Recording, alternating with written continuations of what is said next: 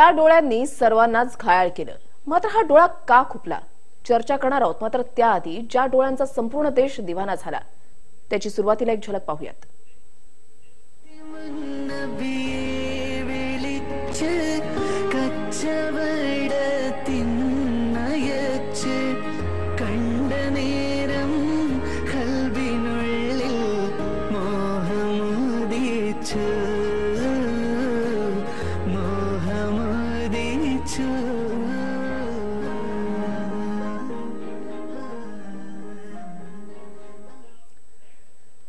प्रियाचा हा video viral झाला एका रात्रीत मिळालेल्या व्ह्यूजनं रेकॉर्ड ब्रेक केला. मात्र त्यानंतर आलेल्या व्हिडिओवर आक्षेप घेतला गेलेला आहे. आणि तो व्हिडिओ पहा.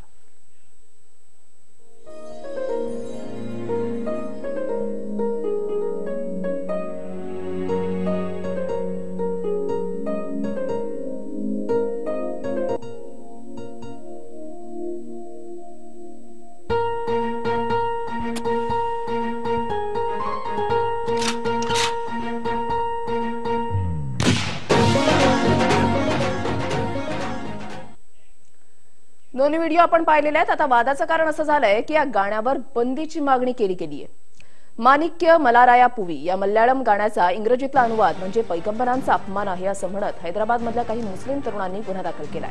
हे गाणं इस्लाम विरोधी आहे असा दावा करत रजा अकादमीने देखील हे गाणं चित्रपटातून वगळण्यात यावं अशी मागणी सेन्सॉर बोर्डासह मुंबई पोलीस आयुक्तांकडे केली आपल्यासोबत सध्या रजा अकॅडमीचे वरिष्ठ सदस्य आहेत सर, आपने इस गाने को जो है वो विरोध दर्शाया है। एग्जैक्टली आपका विरोध किस बात को लेकर है?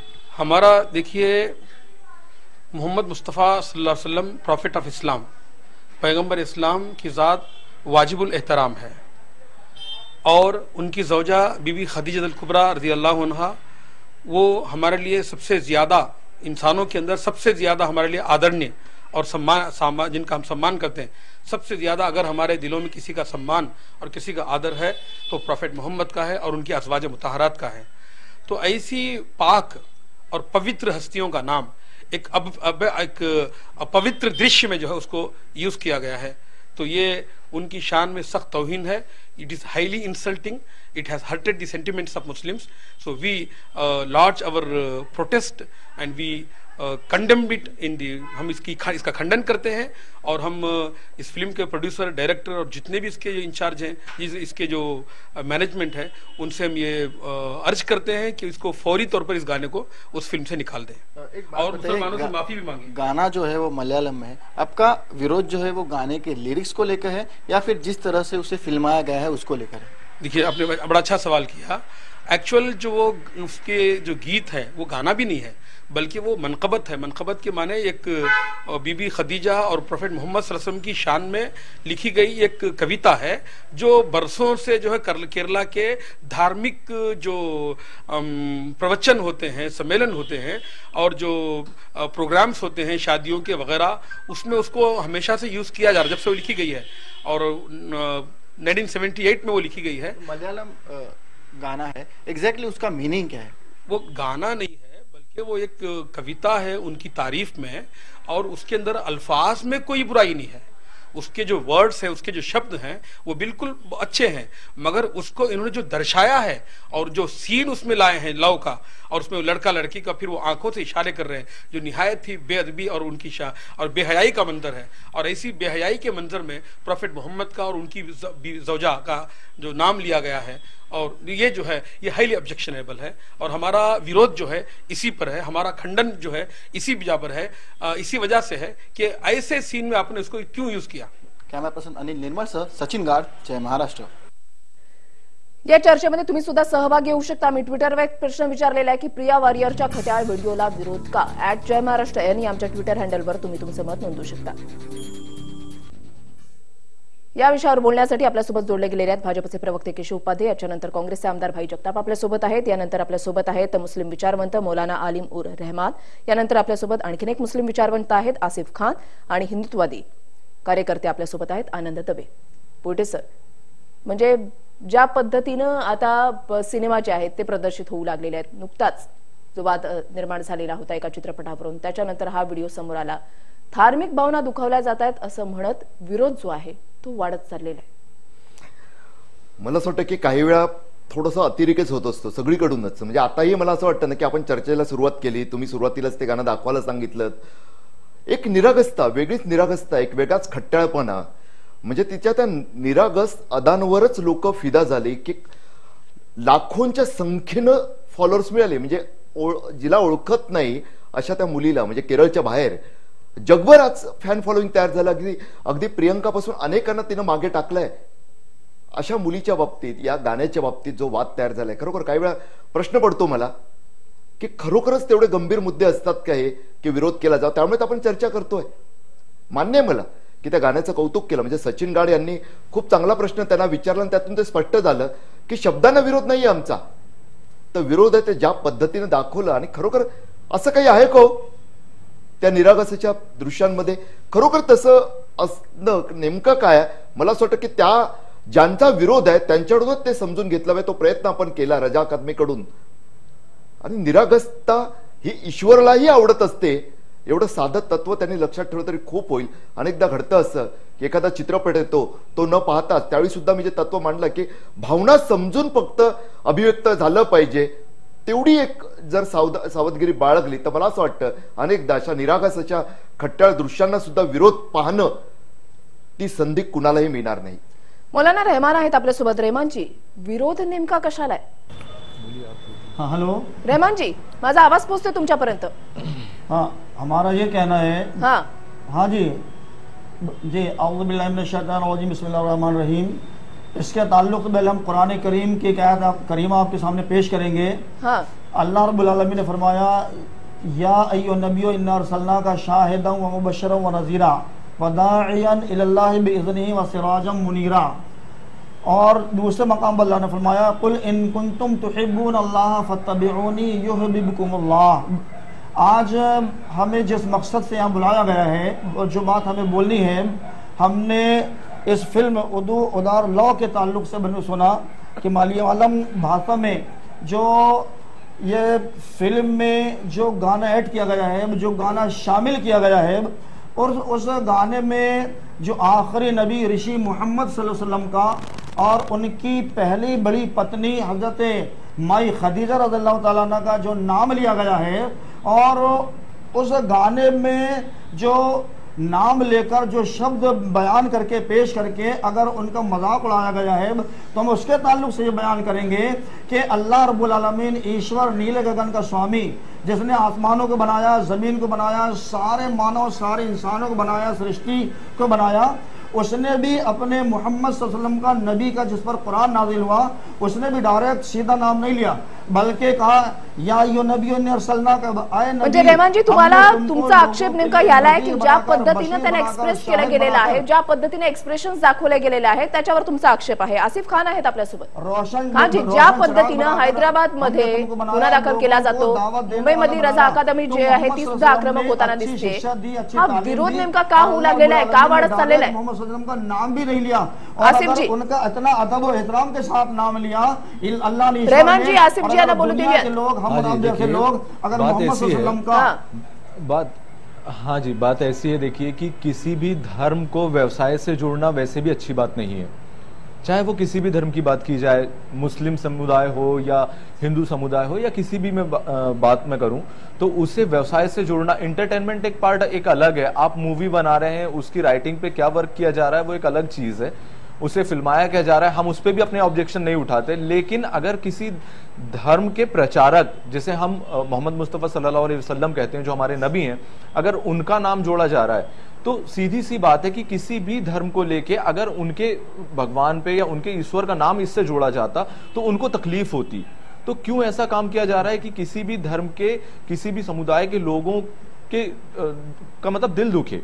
तो ऐसा होना गलत है और ऑब्जेक्शन हम लोगों ने सिर्फ़ उसी बात पे उठाया गया है और उसकी एफआईआर दर्ज भी की गई है। तो जो भी फ़िल्म की यूनिट है उसमें एक्टर एक्ट्रेस की कोई गलती नहीं है। जो उन्हें डायरेक्शन दे रहा है गाड़ी गलत रास्ते पे जा रही है उसमें गाड़ी की गलती नहीं है। जो उसे ड्राइवर चला रहा है गलती सही में गलत लगता है तो आपको? पूरी की पूरी यूनिट को आके माफ़ी मांगना चाहिए उस गाने अगर अगर मान लीजिए मान लीजिए रजा अकादमी एक मुद्दा मुद्दा नहीं उठाती या फिर हैदराबाद से मुद्दा नहीं उठता तो क्या सचमुच गलती का एहसास होता आपको? क्योंकि जो उसे लाइक मिले हैं वो तो पूरे विश्व से है पूरी दुनिया अच्छा से। बहुत बहुत अच्छा सवाल किए हैं मैं गल्फ मैं- से मैं भी आपको है। जवाब दे रहा आपकी जानकारी के लिए बताता हूँ। देखिए वो एक सुनिए ना मैं मैं आपको जवाब दे रहा हूँ बहुत अच्छा कि उसके एक्सप्रेशंस पे एक्टर एक्ट्रेस के एक्सप्रेशंस पे उसके वीडियो पे उसको लाइक मिले। अगर आज मैं कुछ अरबी में लिखूं और अरबी में किसी धर्म की मैं अलग कोई बात लिख दूँ जो आपको पसंद ना हो तो आप तो अरबी पहचान नहीं पाएँगे। वैसे ही वो मलयालम में है ना कि हिंदी में है। तो उसे पहचानने में देरी हुई जब उसे पहचान लिया गया तो उस पर ऑब्जेक्शन लिया गया। नक्कीच ही चर्चा आपल्याला अशी सुरू ठेवायची मला एक छोटासा ब्रेक घेना घेणार आहोत आणि ब्रेक नंतर आपल्याला ही. चर्चा अशी सुरू ठेवायची आहे. तुम्ही कुठेही जाऊ नका पाहत राहा. जय महाराष्ट्र न्यूज़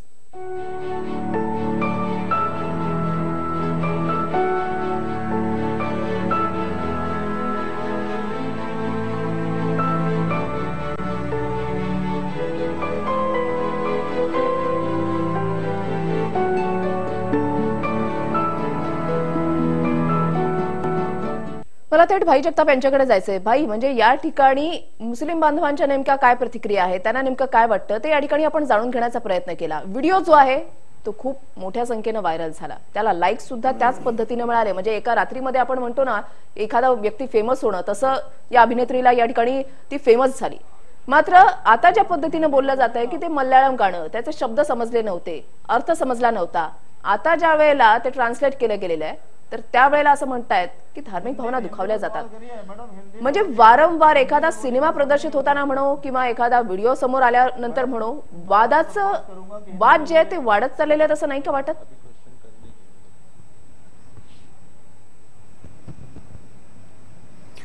अ, असं आहे वृषाली याच्यामध्ये एक गोष्ट आपल्याला लक्षात घेणं गरजेचं आहे. या सगळ्या प्रक्रियेमधला महत्त्वाचा घटक जो आहे तो आहे सेन्सॉर बोर्ड. सेन्सॉर बोर्डाची निर्मिती मुळात याच कारणासाठी झाली की कुठल्याही याच्या धार्मिक भावना दुखावता कामा नये कुठल्याही समूहाच्या भावना दुखावता कामा नये कुठल्या जातीच्या भावना दुखावता कामा नये यासाठीच सेन्सॉर बोर्डची निर्मिती आहे आपल्याला सगळ्यांना माहिती आहे.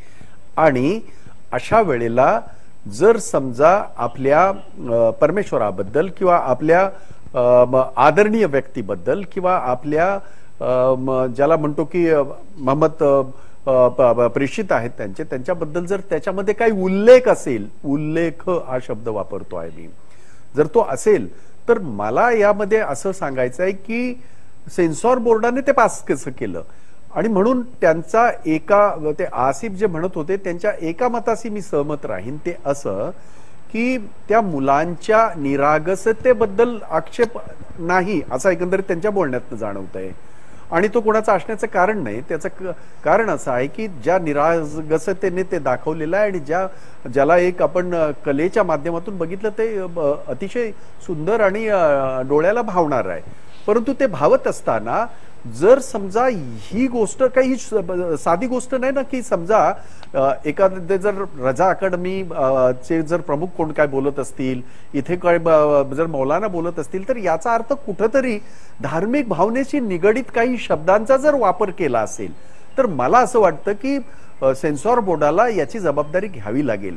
आपल्याला आठवत असेल आत्ताच आपल्याकडे लीला भन्सालीचं ते हे जे आहे त्याचं प्रकरण. आपण सगळं पाहिलं हो. पद्मावत पद्मावती वगैरे आपण पाहिलं त्यावेळेला त्या होय बाजीराव मस्तानीच्या बाबतीमध्ये सुद्धा अशाच पद्धतीचे वाद झाले कारण लोकांच्या भावना अशा होत्या की बाबा आमच्या आमचे जे हिरो आहेत किंवा आमचे जे आदरणीय आमचे जे हे आहेत पूजनीय आमचे ज्या ह्या आहेत व्यक्तिरेखा आहेत त्यांच्या बाबतीमध्ये चुकीचं काय होता कामा नये आणि या भावना काही चुकीच्या नाहीत नक्कीच भावना चुकीच्या नाहीत. आनंद दवे आहेत आपल्यासोबत पुण्यातून. दाखवून, आनंद दवे. समूहाला दाखवून मला असं शकत कुठेतरी तुम्हाला उकळ्या काढायला पाहिजे आहे. असं मला वाटतं आनंद दवे भोईटे साहेब कसं आहे ना की माणूस त्याचा अनुसरून किंवा त्याच्या विचारसरणीला अनुसरून कशी भूमिका बदलतो याची दोन उदाहरणं देतो याच रजा अकादमीला म्हणजे अधि- अभिव्यक्ती स्वातंत्र्य आता त्यांच्या भावना दुखावतात पण पोलीस ग्राउंडवर मोर्चा काढला असताना पोलीस महिलांवर हात टाकले असताना हुतात्मा स्मारक तोडलं असताना तेव्हा त्यांनी कधी विचार केला नव्हता की लोकांच्या भावना दुखावतात का नाही दुखवत? आता कुठल्या तरी गाण्यात त्या गाण्यातले दोन पण- शब्द अहो, पण पद्मावत वेळची तुमच्या भूमिकेचं काय? मोठं आश्चर्यकारक आहे. थांबा जरा भोईटे साहेब. भोईटे साहेब थांबा सांगतो मी तुम्हाला. त्या मुद्द्यावर येतो. त्यानंतर दशक्रिया आणि पद्मावती पिक्चरच्या वेळेस हेच भाई जगताप आम्हाला सांगत होते की अभिव्यक्ती स्वातंत्र्य हवं. आता मात्र मुस्लिमांच्या दर्पणाखाली किंवा मुस्लिम मतांच्यासाठी आता त्यांना सुस्त की सेन्सर बोर्डाने असं करावं असं करावं. त्यावेळेस भाई जगतापच माझ्याबरोबर डिबेटले होते. त्यावेळेस भाईचा भाई जगतापांचं मत वेगळी होती. भारतीय जनता पक्षाचे प्रवक्ते. केशव या आपल्यासोबत आहेत. केशवजी काय वाटतं तुम्हाला? नेमकं राजकीय. भूमिकेनुसार ऐका ऐका. बोला. सांगतो ऐका. या गाण्यामुळे सर सर सर थांबा. थोडं थांबा तुम्ही. हो. थोडंसं थांबा. केशवजी, बोला. हे दोन तीन मुद्दे. ठेवून ही त्याच्या मागं गाणं वेगवेगळ्या भाषेत केलेली आहे आनंद हे दवेजी, गाणं केशवजी यांना बोलू तर. भावना केशवजी, बोला. गेल्या असतील तर गाणं नक्कीच मागं घेण्यात यावं पण जेव्हा आम्ही दशकराच्या वेळेस विरोध करत होतो आम्ही पद्मावतीच्या वेळेस विरोध करत होतो तेव्हा मुस्लिम समाज कुठे होता? तेव्हा आमच्यापासून यावं असं त्यांना का नाही वाटलं मला सांगा? म्हणजे हिंदू मतांवर हिंदू- बोला. समाजाविषयी कोणी काही बोललं तर चालेल. बाकी थोडं थांबा. विषयी ज्याच्यामुळे जाती आणि आनंदजी, थोडं थांबा. केशवजी, बोला. भावना मात्र दुखावू नयेत. ही भूमिका ही भूमिका दुटप्पी आहे. या भूमिकेचा मी सगळ्यात पहिला निषेध करतो. केशवजी बोला. भोईटेजी दोन मुद्दे या ठिकाणी मला प्रामुख्याने मांडायचे आहेत. पहिल्यांदा असं आहे की ते गाणं ट्रिझरवरती आलंय भाई खरं माझ्यापेक्षा अधिक अनुभवी आहेत ज्येष्ठ ज्येष्ठ आहेत. आमदार अजून गाण्यांचं सेन्सॉर अजून होत नसावं माझ्या माहितीप्रमाणे. गाणं फक्त रिलीज झालं चित्रपटाचं सेन्सॉर होतं. त्यामुळे इथे सेन्सॉरचा मुद्दा इथे तशा अर्थाने गैरलागू आहे. दुसरं असं आहे की खरं म्हणजे दोन मुद्द्याचे प्रामुख्याने मला मांडायचे आपण कशा पद्धतीने भूमिका घेतो सोयीनुसार याचं उत्तम उदाहरण काँग्रेस आणि बाकीचे सगळे तथाकथित सेक्युलरवादी जे ओंगी सेक्युलरवादी देशातले आहेत त्यांचं उदाहरण आहे. खरं म्हणजे काही दिवसापूर्वी जी आत्ताची भाषा जी आत्ताची भावना आत्ता आमच्या मुस्लिम मित्रांनी मांडली तीच भावना खरोखर त्या करणी सेनेचे लोक मांडत होते की पद्मावती आमचे दैवत आहे आमचा स्वाभिमान आहे आणि त्याला ठेच पोचता कामा नये. त्यावेळी खरं म्हणजे त्यावेळी अभिव्यक्ती स्वातंत्र्याचे इतके डोस त्यावेळी देण्यात आले. आणि कसं अभिव्यक्ती स्वातंत्र्य म्हणजे काय? जगातलं एकमेव आवश्यक आहे. अशा प्रकारच्या भावना काही काँग्रेससह सगळे ढोंगी सेक्युलरवादी व्यक्त करत होते. मात्र कालपासून या गोष्टी कंप्लेंट दाखल झाली तक्रार दाखल केशवजी. झाली तुमचं. केशवजी म्हणजे तुम्हाला केशवजी, असे मला माहितीये तुम्हाला बोलायचंय मला भाईंकडे सुद्धा जायचंय मला मोलाची यांच्याकडे सुद्धा जायचंय. मला एक छोटासा ब्रेक घ्यायचा ब्रेक नंतर आपल्याला ही चर्चा अशी सुरू ठेवायची. कुठेही जाऊ नका पाहत राहा. जय महाराष्ट्र न्यूज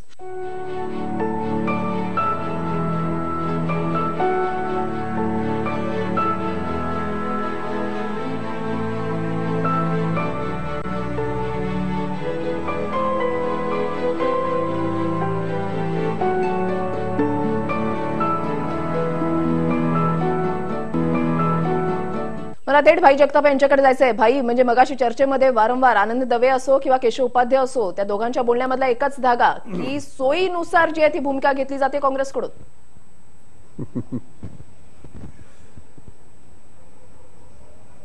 ते आता असं आहे की मला फक्त अर्धा मिनिट दिलं तर बरं होईल कारण माझ्या आमच्या मित्रांना फार चांगली संधी मिळाली त्यांना त्यांच्या नेहमीच्या पद्धतीने दुटप्पीपणा अमुक तमुक तुम्ही मी आनंद दवे पहिलं त्यांचंच बोलतो. कारण आनंद दवे हा ब- हा माणूस हा तसा बुद्धिवान आहे असा माझा समज आहे. परंतु आम्ही जेव्हा तेव्हा चर्चा करत होतो तेव्हा मी हेच बोललो होतो. फरक फक्त एवढाच आहे तुमच्या दृष्टीला दिसेल तेवढंच तुम्ही घेताय. त्यावेळेला मी हेच बोललो होतो जे केशव उपाध्यायने आत्ता बोलले सेन्सॉरने जर पास केलं असेल तर सेन्सॉर जबाबदार आहे त्याला. तेव्हाही हेच बोललो होतो. आणि सेन्सॉरने जर त्या ठिकाणी जबाबदारी त्यांची पार पडताना चूक केली असेल तर ते चूकच आहे. आणि जे काय आनंद दवे म्हणतात आहेत की आम्ही याव केलं त्याव केलं आणि आता चित्रपट प्रसिद्ध झाल्यानंतर अनेक संघटना म्हणतात की त्याच्यामध्ये आक्षेपार्ह काही नाही. त्यामुळे दुटप्पीपणाची भूमिका कुणाची हे महाराष्ट्राच्या जनतेला कळेल. मला याच्यापेक्षा जास्त महत्त्व द्यायचं नाही त्यांच्या मताला. आता केशव उपाध्ये हे बरं आहे की त्यांचं म्हणणं अर्थात त्यांना त्यांचं चित्रपटातलं बरंच काय माहिती आहे माझं काही तेवढं ज्ञान नाही आहे टीजर निर्माण आता हा टीजर आहे नंतर अमुक आहे तमुक आहे.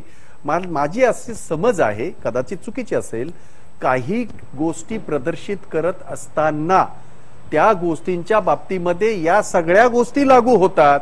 कुणाच्या भावना दुखावता कामा नये कुणाचं ब- हे होता कामा नये ह्या सगळ्यांना लागू होतातच. नाहीतर उद्या असं होईल टीजरच्या माध्यमातून काही दाखवलं जाईल आणि मग त्याचा गदारोळ झाल्यावर तो मागे घेतला जाईल. त्यामुळे मला असं वाटतं की ही एक प्रक्रिया आहे सेन्सॉर बोर्डाची त्यातलीच मी प्रक्रिया बोलून दाखवली. आता राहिली गोष्ट त्या निरागसत्या बाबतीमध्ये मी काही बोललोच नाही मी उलट असं म्हटलं ते अतिशय सुंदररित्या ते चित्रित केलं गेलेलं आहे आणि ते अतिशय नैसर्गिक दृश्य- रित्या ते वाटतं आता हे म्हणत असताना मी कोणाचं तरी लांगुल चालन करतोय किंवा मी कोणाचं ते हे करतोय असं तुम्ही म्हणतच राहा कारण तुमचा तो. राजकारण राजकारण आहे तसं. होतच राहील अपेक्षा एवढीच आहे की निरागस अशी ते दृश्य की सर्वांच्याच मनाला भावणारी बोललो ठेवणारी.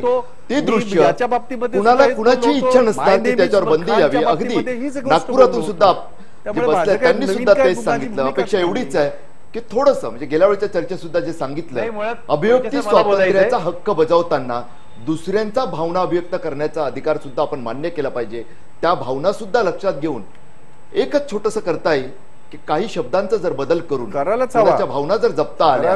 तर किमान त्या निरागस निर्भेळ अशा भावना अभिव्यक्तीचं आनंद लुटत. असताना कुणालाही विनाकारण त्यापासून वंचित राहावं लागणार नाही नक्कीच तुम्ही सर्वमान्यवर चर्चेमध्ये सहभागी झाला त्याच्याबद्दल आपल्या सर्वांचे आभार आणि इथेच थांबतोय पाहत रहा जय महाराष्ट्र न्यूज